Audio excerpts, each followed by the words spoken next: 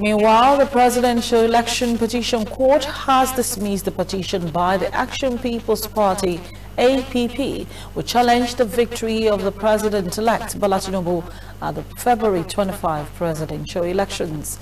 The court dismissed the petition marked CAPEPC 02 2023 following its withdrawal by the party. The PEPC adjourned to Wednesday the continuation of the pre-hearing of the petition by the party against the respondents. Tinubu, the All Progressive Congress, the Independent Electoral Commission, INEC, and after the parties adopted their answers on Monday.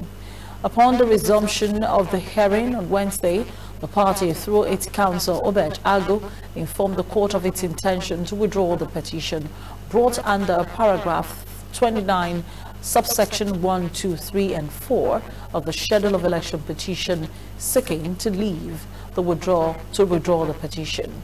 The councils for the respondents Wale Olanipekun representing Tinubu, Latif Fagbemi for the APC and Abubakar Mahmood representing the Electoral Commission did not object to the withdrawal and also did not oppose the petition or ask for a cast. It is not nothing more than instruction from my clients.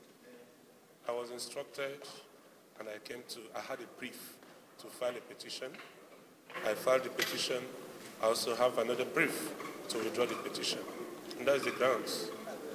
He had no reason, he didn't tell me anything.